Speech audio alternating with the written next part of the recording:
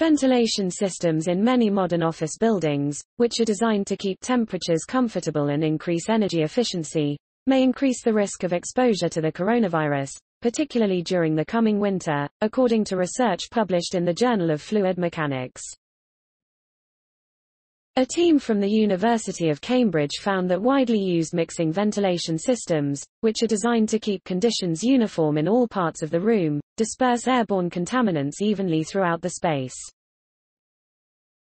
These contaminants may include droplets and aerosols, potentially containing viruses.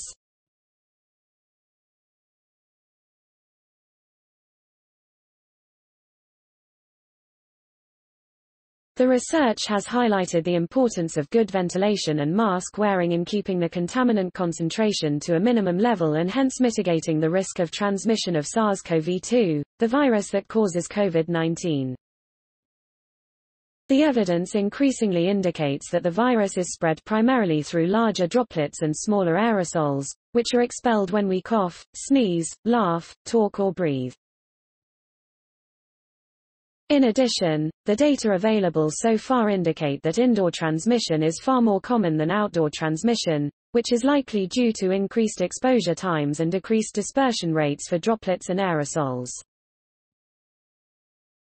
As winter approaches in the Northern Hemisphere and people start spending more time inside, understanding the role of ventilation is critical to estimating the risk of contracting the virus and helping slow its spread, said Professor Paul Linden from Cambridge's Department of Applied Mathematics.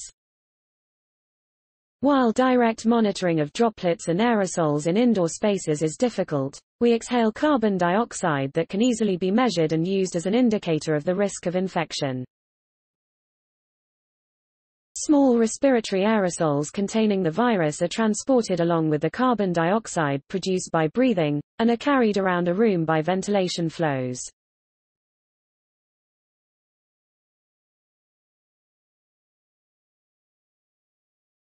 Insufficient ventilation can lead to high carbon dioxide concentration, which in turn could increase the risk of exposure to the virus. The team showed that airflow in rooms is complex and depends on the placement of vents, windows and doors, and on convective flows generated by heat emitted by other variables, such as people moving or talking, doors opening or closing, or changes in outdoor conditions for naturally ventilated buildings, affect these flows and consequently influence the risk of exposure to the virus. Ventilation, whether driven by wind or heat generated within the building or by mechanical systems, works in one of two main modes.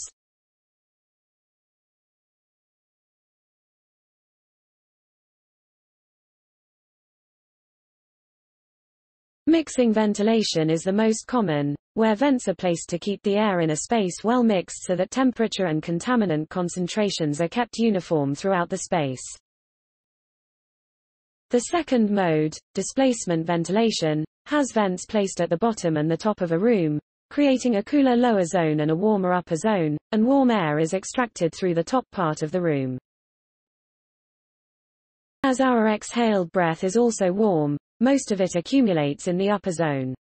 Provided the interface between the zones is high enough, contaminated air can be extracted by the ventilation system rather than breathed in by someone else. The study suggests that when designed properly, displacement ventilation could reduce the risk of mixing and cross-contamination of breath, thereby mitigating the risk of exposure. As climate change has accelerated since the middle of the last century, buildings have been built with energy efficiency in mind.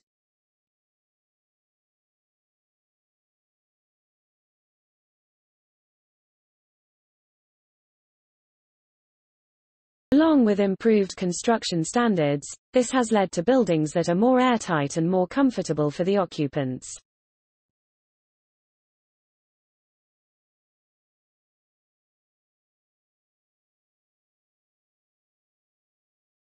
In the past few years however, reducing indoor air pollution levels has become the primary concern for designers of ventilation systems.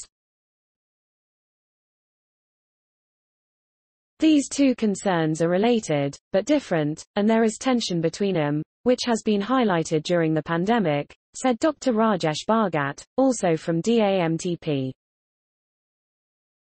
Maximizing ventilation, while at the same time keeping temperatures at a comfortable level without excessive energy consumption is a difficult balance to strike. In light of this, the Cambridge researchers took some of their earlier work on ventilation for efficiency and reinterpreted it for air. In order to model how the coronavirus or similar viruses spread indoors, you need to know where people's breath goes when they exhale, and how that changes depending on ventilation, said Linden. Using these data, we can estimate the risk of catching the virus while indoors. The researchers explored a range of different modes of exhalation, nasal breathing, speaking and laughing, each both with and without a mask. By imaging the heat associated with the exhaled breath, they could see how it moves through the space in each case. If the person was moving around the room, the distribution of exhaled breath was markedly different as it became captured in their wake. You can see the change in temperature and density when someone breathes out warm air. It refracts the light and you can measure it, said Bhagat.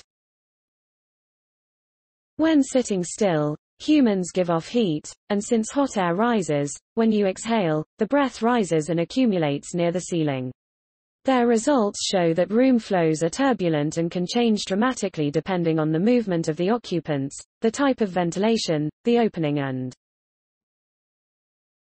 the researchers found that masks are effective at reducing the spread of exhaled breath, and therefore droplets.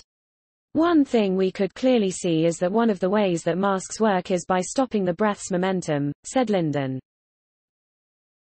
While pretty much all masks will have a certain amount of leakage through the top and sides, it doesn't matter that much, because slowing the momentum of any exhaled contaminants reduces the chance of any direct exchange of aerosols and droplets as the breath remains in the body's thermal plume and Additionally, masks stop larger droplets, and a three-layered mask decreases the amount of those contaminants that are recirculated through the room by ventilation. The researchers found that laughing, in particular, creates a large disturbance, suggesting that if an infected person without a MA Keep windows open and wear a mask appears to be the best advice, said Linden.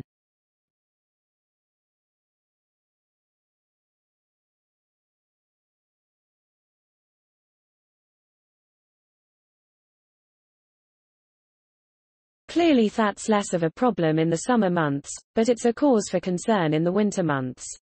The team are now working with the Department for Transport looking at the impacts of ventilation on aerosol transport in trains and with the Department for Education to assess risks in schools. Please support my channel to grow by pressing subscribe button and the bell icon. We will notify you technological news. Thank you.